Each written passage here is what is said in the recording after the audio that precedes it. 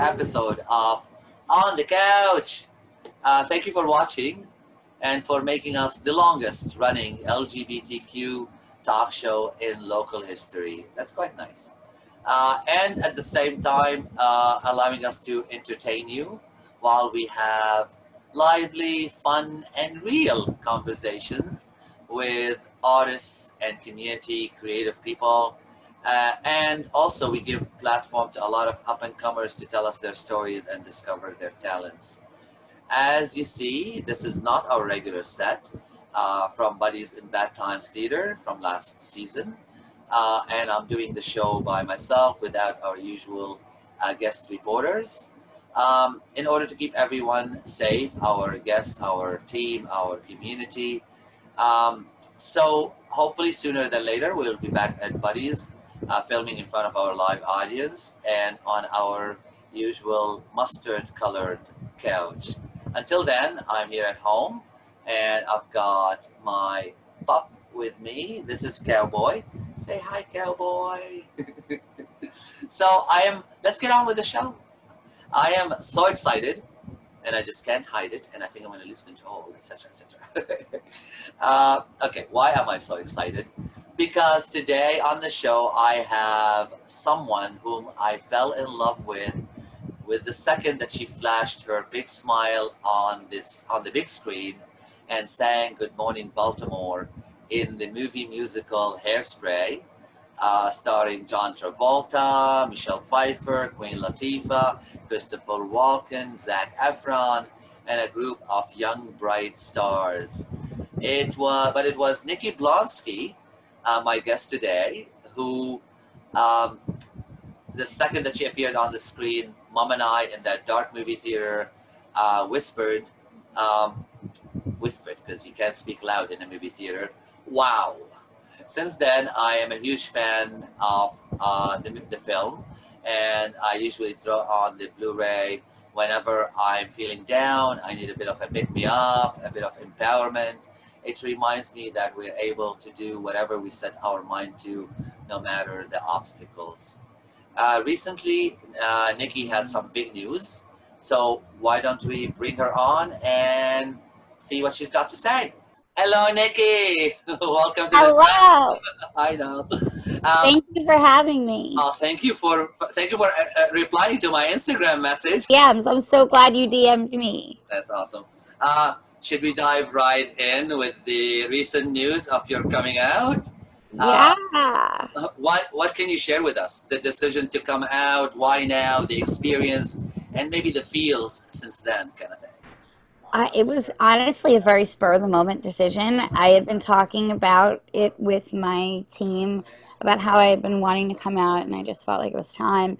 And uh, and then I was on my friend Alec Mapa's uh, show on his Instagram live show, and I just decided it was it was that moment. It was going to be this moment, and not going to turn back. And uh, after that, I made a TikTok. My publicist and I made a. TikTok to Diana Ross's "I'm coming out," you know, and um, and we posted that, and then I started getting questions saying, "Is this real?"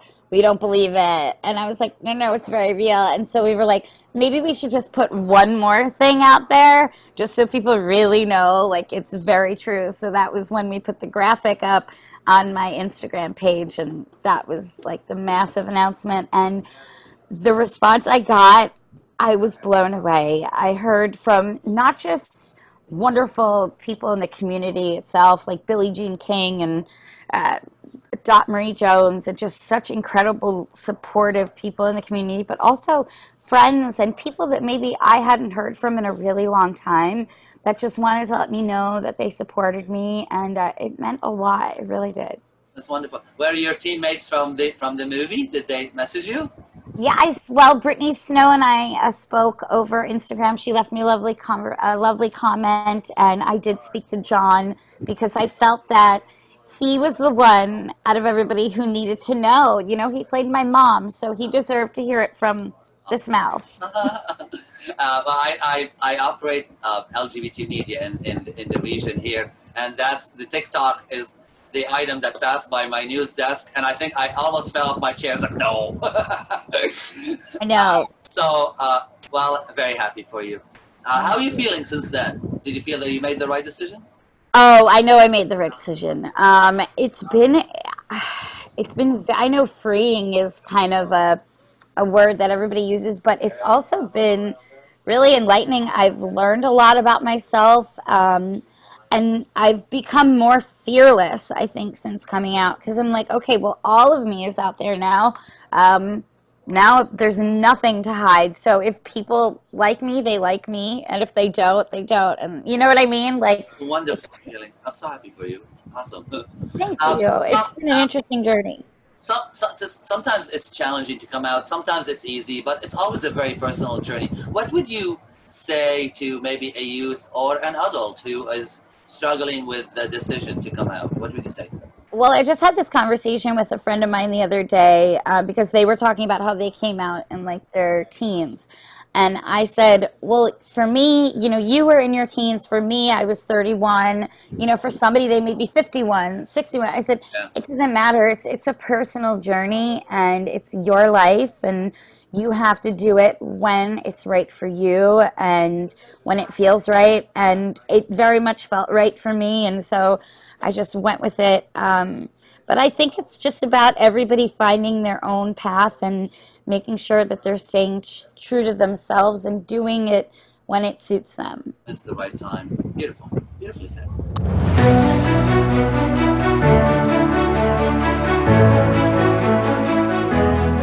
On the topic of your singing and acting, uh, when, how, um, uh, what got you starting in this? What got you to discover your talent?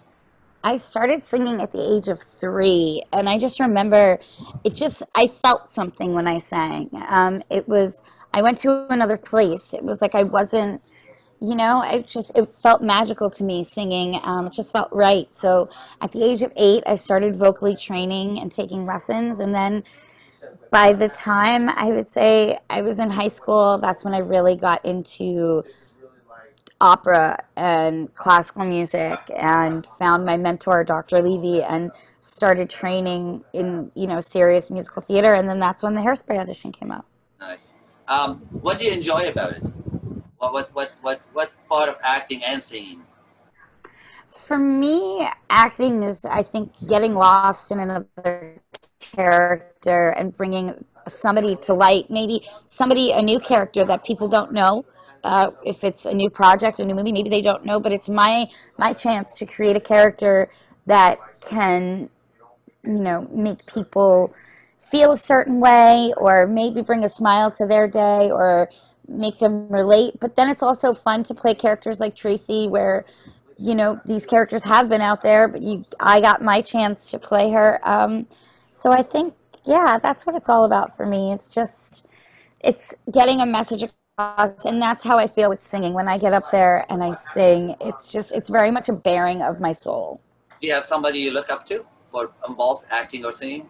Oh yes, my favorite actress ever, hands down, is Angela Lansbury. Hey, good choice. Yes, yes. Uh, Sweeney Todd, Mrs. Lovett is just magical to me. So I look up to her. I look up to Julie Andrews, Betty White. I look at you know, women like that who have had these really long, illustrious careers that, you know, have stood the test of time.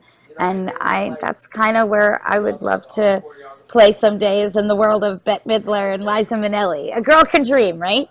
Oh, come on. We, let's make a dream come, happen, come true. Um, let's talk about let's have a good chat on hairspray that's the big deal uh, for full transparency i actually had doubts walking into the theater mom wanted to see john travolta i'm thinking who dare replace divine and, and who did, dare replace the wonderful Ricki Lake? no. Uh, but hey, it took like one second of you coming on the screen. It's like, yeah, okay, yeah, she's the one. um, so, um, did you have any doubts? Um, um, getting into the role? I mean, it's it's a it's, it's a big role to take on. I'm sure it was a lot of pressure. Uh, it was honestly, it was so much fun. I remember I've been a massive Ricki Lake fan my entire life. like ever since. So the Ricki Lake show, her talk show, was basically like the Corny Collins show for me Okay. in real life. I would rush home every day to watch Ricki. I, I was obsessed. I would literally sit in my living room and do the "Go Ricki, Go Ricki," the whole thing. Um, so to get to just meet her was Sure, right? just mind blowing to me. But then to um, play a role that she originated and just shared with the world, if it wasn't for actresses like Ricki Lake, there would be no place for me in this industry. She very much paved the way. So I thank her every chance that I get. Uh, so you met her, you said. Yeah, we met. I met her. I remember walking into the makeup trailer one day, and they didn't tell me that she was on set. And I, I opened the door. It was like four o'clock in the morning, and I saw her sitting there. She, I'll never forget. She was in like a, a green V-neck sweater, and I walked in and I looked at her and I went, and I just I shut the door and I turned around and I walked away. And one of the ads was following me. He said, "Where are you going?" I said, "Oh no no no no." I can't do Nope. that at four o'clock in the morning. no, I said I can't do that right now, and he goes, "Oh, but you are." And uh, I met her, and we've been literally like bonded ever since. um, um, has life changed and and career changed since that role? Yeah. Oh, sure. Um, life as it's weird. I think it happened at a perfect time in my life because I was 17, so life as I knew it was going to be changing anyway, going to college and so I was very much ready for the next phase of my life. I had no idea and I couldn't have imagined that it would have been this uh, because it's just it's so wild to me uh, just to to have been such a fan growing up of Hairspray, uh, the Broadway show, and then to be able to play Tracy, it's truly been the greatest blessing of my life. I every day I have to check myself. I'm like, it sounds kind of crazy, but this really did happen. So sweet. Um, what goes into making a big musical like this, especially like the show numbers? How how intense is it? Oh my gosh! Well, Zac Efron used to say it was like a musical theater boot camp Yeah. because we would go from like one room. I remember dancing for me. I would dance at least eight hours a day. Wow. Um, and then we'd go, and this was just rehearsals for two months. And then we started filming. Uh, we filmed for about six months, and it was it was intense. I never danced a day in my life before that movie, but we had so much fun. A lot goes into it. It's it was Hairspray. I have to say, it was one of the most beautifully well-oiled sets I've ever worked on. Everything was just so smooth, and uh, it was a big moving operation. But somehow it managed to happen. It was it was really something special to watch, and everything from every scene and every set that was built for us, it was just. I'm still just in awe. That's why the movie is special. Well, you're making you're making a fan like myself very very happy hearing all this. Um, well, let's talk about a little bit tidbits. Um, was John was John Waters on set? Yes, John Waters was on set. He came. He played a scene where he played the Flasher. Yeah, right. He's in Good Morning Baltimore with me, and that was just so thrilling to work with him because without John Waters, that man birthed Hairspray. Without him, like we wouldn't it. me, Ricki, none of us would have played this role. So um, that was just that was incredible. I remember standing there and just looking up and going, "Okay, this is this is a special day. Something's in the air today. You're here with like, I because he he's just so brilliant and." He is. He is. Uh, Um, was John Travolta a good mother? my gosh, I have to say, my mom is pretty amazing, my real mom. But John, was a good mother.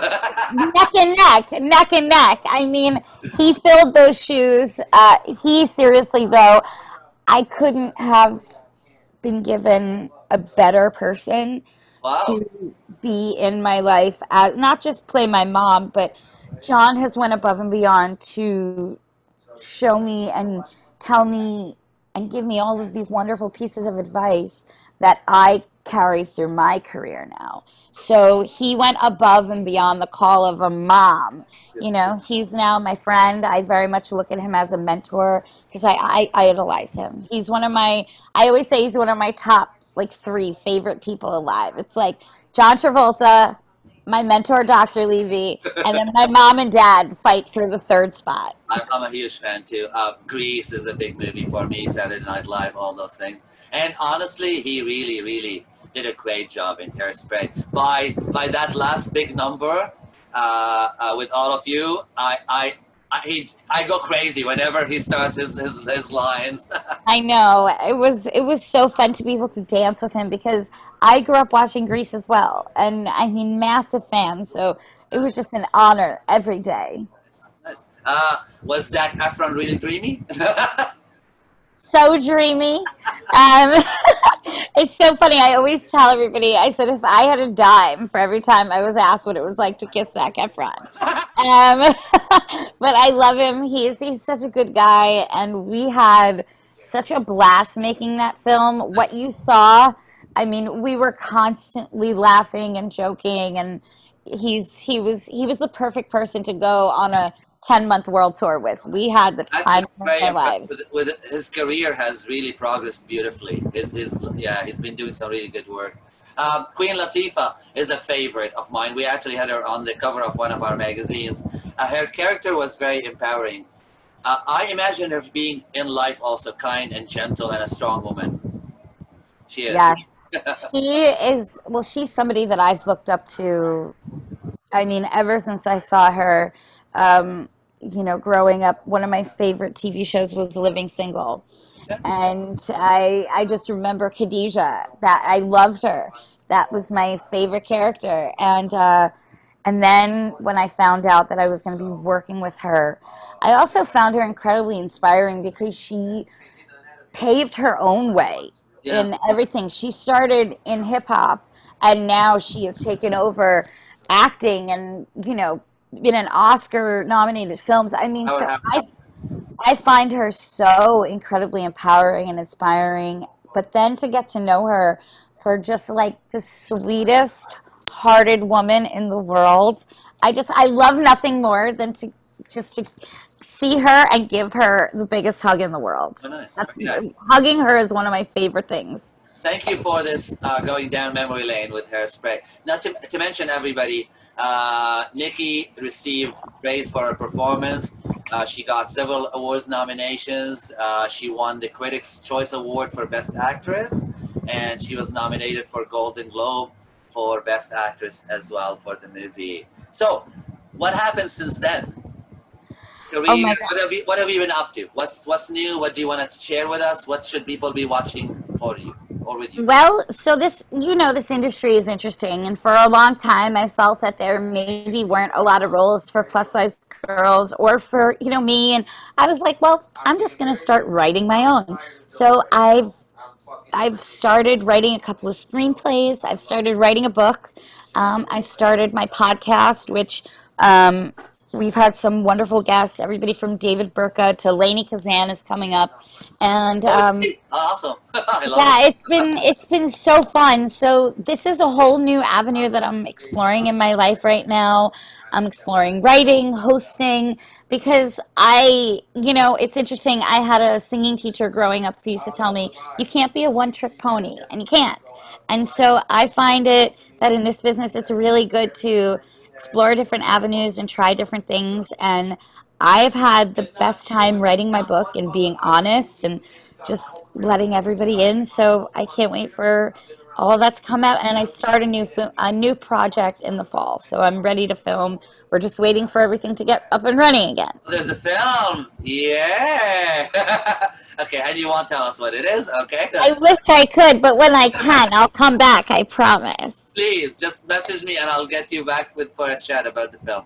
Um, actually, everyone, if you look at, at Nikki's Instagram, you totally can tell that she keeps busy. She, I mean, you, you always have very exciting things happening and you get involved in many different charities I see and, and lots of things. Yeah. Yeah, I, I love working with different charities. Over the years I've worked, I, one of my favorite charities that I work work with is Shands, which is down in Gainesville, Florida. It's for kids, um, you know, against suicide and violence and how, you know, just implementing programs against bullying in schools. And so that's one of my favorite ones to work with. Um, and I know there's, I work also with Cameo. Uh, Cameo is a great personalized video uh, where you can get videos from me. You can go on cameo.com. And this month, we're giving a portion of the proceeds to Baby to Baby to give back school supplies to kids that are, you know, going into school with COVID, with everything. So wonderful, wonderful.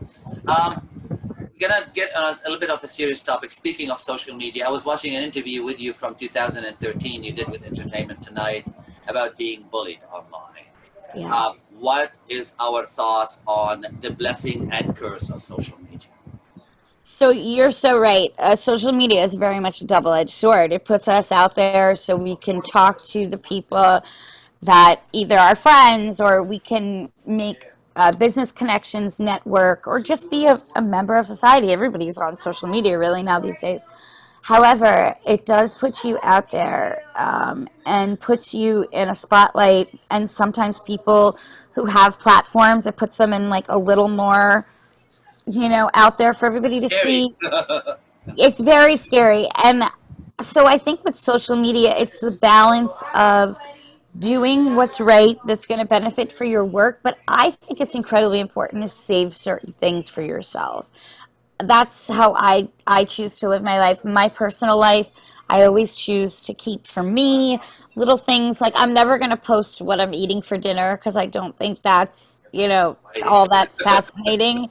Um, I don't want to take up your feed with that. But if it's something like an important message or yeah, I think social media can be great, but at the same time, it's it's like anything when used correctly Yeah.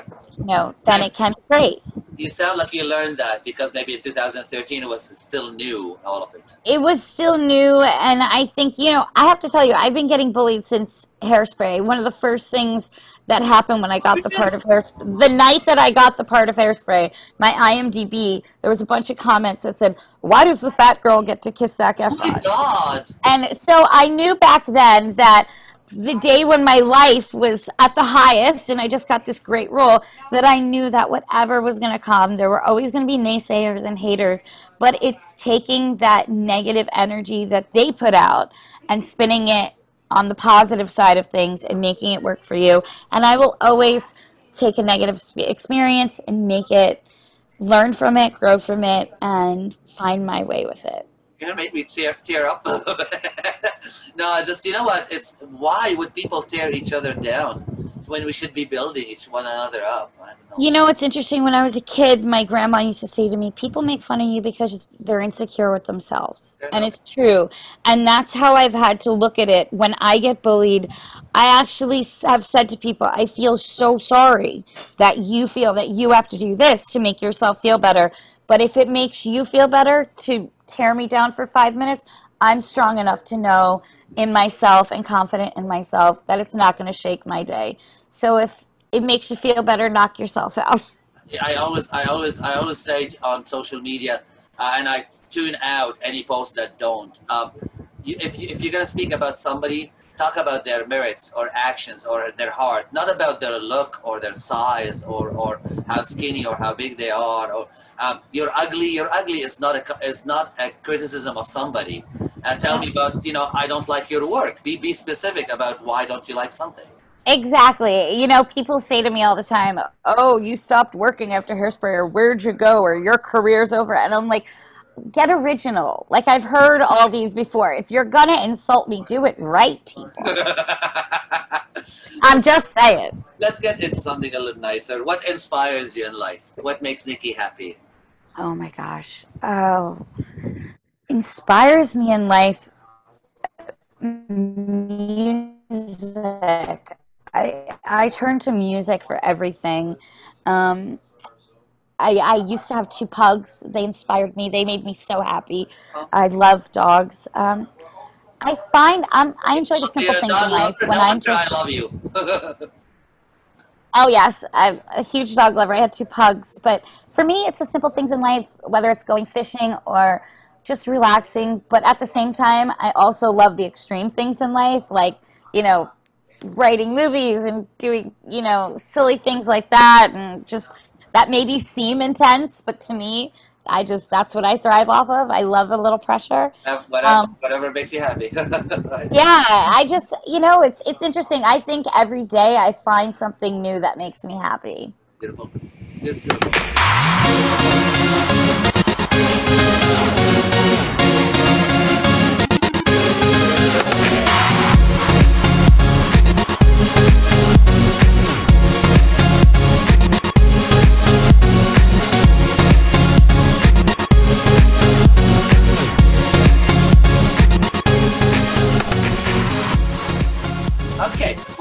Our show, uh, we like to know the artist and their work, but most importantly, we like to know the real person behind the artist. So let's talk about family and upbringing. Where from?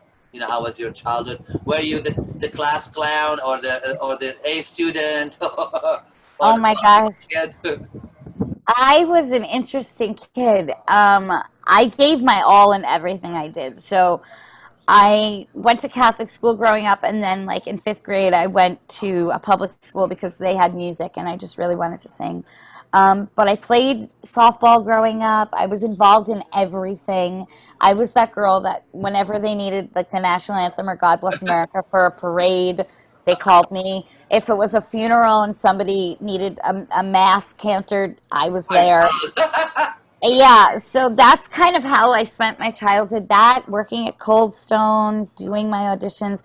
I was. It was interesting when I went to the public high school. I was not the best student in the world, and then when I transferred to an alternative high school called the Village School, and we had such personalized, you know, the teachers just took a, such a different approach with us. And after that, I did walk out with straight A's. So I was happy to leave high school with straight A's, but leave it just there because, you know, nice. Um, where where are you from? I'm originally from Long Island. So I grew up in a town called Great Neck, which is actually where the movie The Great Gatsby is set in. Oh, cool. Big Yeah. family. No, it's kind of just the four of us my mom, my dad.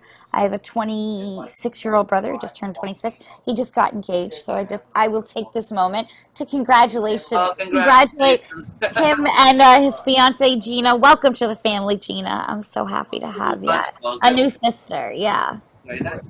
Um, when I posted on Facebook uh, that I'm going to be talking to Nikki Blonsky, uh, a friend of mine in the LGBT community connection uh, uh, wrote, "Oh my God, I'm so excited you're chatting with her. I have a, a, a huge lesbian crush on Nikki." Oh, wow, thank you. You're going to make me blush now. Well, hi. uh, how is uh, how is your love life going? Oh my gosh, the love life. connect you. No. um, they, you know, it's interesting. Love life. Um, my love life has always been just different, even back in the day. Now it's um, I'm single. I'm I'm dating. Um, you know, she's single. I'm I'm single. You know, I'm open. I'm just, you know, I take life as it comes, and if somebody great comes along my way, then I'm totally open to it. She's gonna be thrilled that I even mentioned her on the show. Well, h- tell her I send my best. Oh, she'll, I'll, I'll, I'll be tagging her. um, okay, so we end the show with a game of very quick questions, and you provide quick answers for whatever comes in mind to mind. Are you ready? Yes, Your favorite color? purple. Your favorite season of the year? Oh, fall. I was going to ask cat or dog person, but you apparently answered. uh, your favorite vacation spot? Toronto. You serious? Yeah. Okay, let me know when you're next here. I'll take you out for dinner. Yes, uh, we filmed Hairspray in Toronto. It's my second home. Is Any that chance? seriously? That's where you filmed here? Yeah, any chance I get to go back. I That's my first option for yeah. Um, your uh, favorite cuisine to dine out? Ah, sushi. Okay, I, I love sushi. It's my top choice. Uh, you got friends coming over for dinner. It was a busy day. What was the fastest, most, de- most delicious dish you can whip up really quickly? I it would probably be my mom's casserole. It's like a big pasta dish. Oh, nice. Uh, what album would you throw on for a romantic candlelit time at home with someone special? Oh my, what album? I don't know. That's a good one. I mean, it would probably be a playlist, but for some reason, I don't know. A whole a whole album. Huh. playlist. Okay, so you don't have I mean, favorite. my it would probably my playlist would definitely have some like Sinead O'Connor in there. There you go. Um, now we're talking. you know, with like a little John Legend. Yeah. Beautiful. So, any last words to your fans and to the LGBTQ community?